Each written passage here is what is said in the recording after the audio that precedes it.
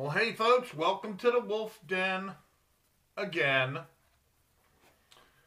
for Mailbox Monday.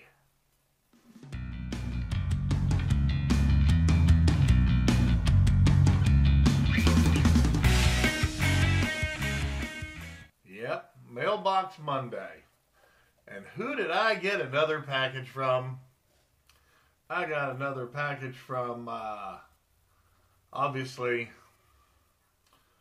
Huilong Guang Fangyang Yong Area 2 13 4 402 Beijing Changping Beijing, China. So, you know, hey, to fit my last video when I was showing you, I was showing you on my last little Wolf Den video, I showed you these. The gold minnow with the treble hook. Well, since that video, I've used it. I can't. Did I catch anything on it? I don't think I caught anything really seriously on it. I really wasn't seriously using it, to tell you the truth. Um, but it does, yes, it flutters. If you like this jig and uh, you want to get some on eBay, uh, excellent absolutely excellent quality. Um, just to follow up on the last video, this gold plating does not come off. The hooks are these absolute wicked, wicked hooks. And I did a little research. They're either VMC's Mustad or owners. I could swear that's a light owner right there, that little treble. But um, so yeah, as a follow up from uh, the last video when I showed you these, excellent product, absolutely excellent. Um, they have a good action, being that they're this shape. Uh, these torpedo straight to the bottom, and then when you flutter them then they do their dance when you flutter up. But they torpedo straight to the bottom. Um, let's see. Okay, I got these. I got those like last week, and I told you that I waited like 18 days for them. Well, guess what? I waited another 18 days for another package, and that was the one that came today. Um, where am I going to put this? Okay. I'm going to show you something other very that's a, uh, very unique. Now this is from the same seller on eBay. If you're, like I said, I don't know because nobody tells me anything. Why don't you tell me something in the comments? Why don't you tell me? Have you done any inshore vertical jigging? Have you done any offshore vertical jigging? Why do you even watch this? Is it is it like this? Uh, is it like what they said on Seinfeld years ago, um, when Jerry was going to try to get his own TV show named Jerry, and George Costanza said to the NBC executive while they were sitting in the NBC building in New York City, and NB, NBC, uh, executive said, "So what's this show going to be about?" And Jerry goes on to talk, and then George interrupts him. George interrupts him and says, No, no. This show is about nothing. And Jerry says, Oh, well, it's got, you know, it's about something. And Jerry, George goes, No, it's about nothing. Well, the NBC executive says, Then why am I watching it? And George Costanza says to the NBC executive, because it's on TV. Why are you watching a video about my passion catching fish on metal? um, just because it's entertaining, I mean, let me know. I got all this metal here. I love metal. Um, I love the durability of jigs. I love the colors. I love the colors. I love the hook. Different places that I, I've and different ways that I've rigged them. Different styles of hooks. Um, using my open end swivels, which I haven't sold any in the last couple weeks. So y'all must be lacking. You need these. You need these swivels. The open eye swivels. They're so handy. You can find them on eBay. Just type in open eye swivels. Um, but why why are you watching this? That's what I want to know, and I want you to leave the comments. I want you to leave it in the comments, and let me know. Um, you know, I used to say that. I used to say the same thing when I um, would put a put a big long fishing report story. I mean, a whole story on my blog on my off my website, which is my fishing reports page, which is uh, set up like a blog. Um, I used to say, uh, "Who the hell's out there reading it?"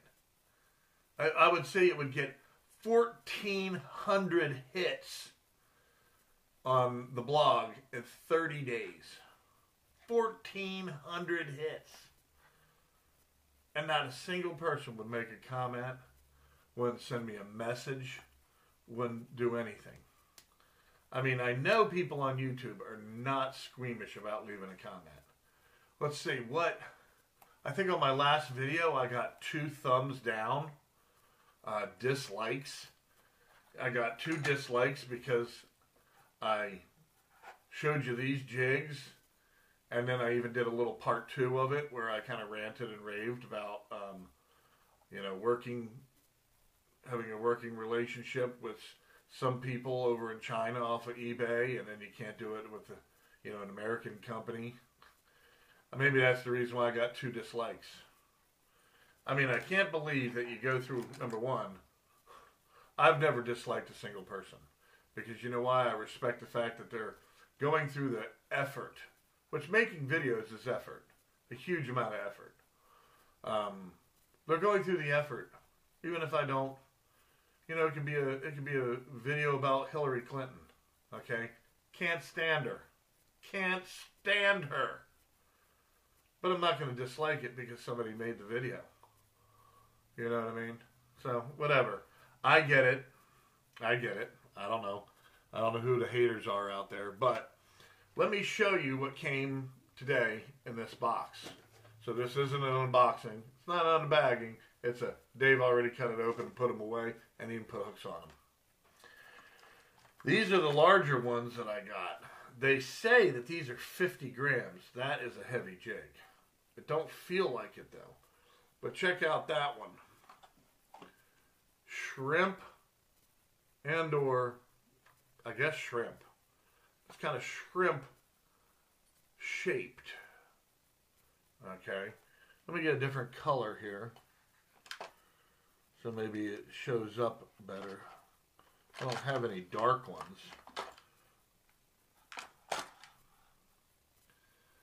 Okay, it's faceted all the way around. It's got a cut here, a cut here, a cut here, a cut here, and just that shape. And it's got this eye in the center and an eye on each end. So, like this one, I kept the treble on that because it came with it.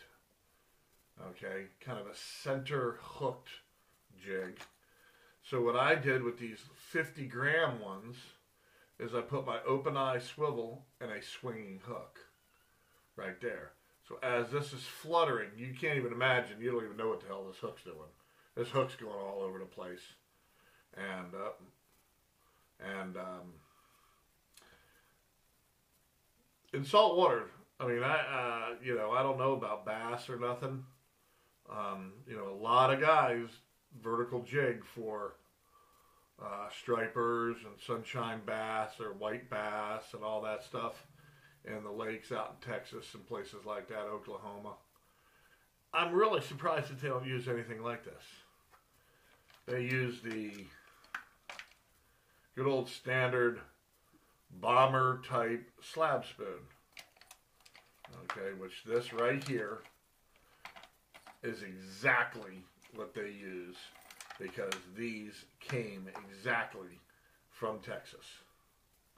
That's just a slab spoon. But of course, you can see how I've hooked it. And I've even talked to a guy who's a manufacturer of these. Okay, he makes slab spoons. And what they do is they put a big old treble on the bottom. And I said, it's kind of funny that they haven't thought of making a free swinging hook because of the fact that the trebles would hang up. But then I don't know what these lakes look like. Where I fish, everything's a hang up, folks. Every you touch the bottom, it's like Velcro. It's like Velcro. So uh, I got all these different colors of these. So I put the swinging hook on it. I'm going to tie off here. Okay, I'm going to tie off here. I might even try tying off here and seeing what this does. All right. Uh, I got some other cool colors. I mean, I always love the colors of them. And here's another smaller size. Now on the smaller size, all I did was put a hook with no swinging. I just put a single hook attached to that, that belly point right there on that. All right. So we'll keep it simple, stupid. No need for no swivel, no nothing. Just that hook right there. Okay. So that's two sizes. And then I got a micro size too. And I did the same thing with it. Here's a little 20 gram. You know, so I put the hook on so it's facing out. So as this flutters, this hook will be out like this. All right. So as you can see, these jigs come in all different sizes, shapes. I mean,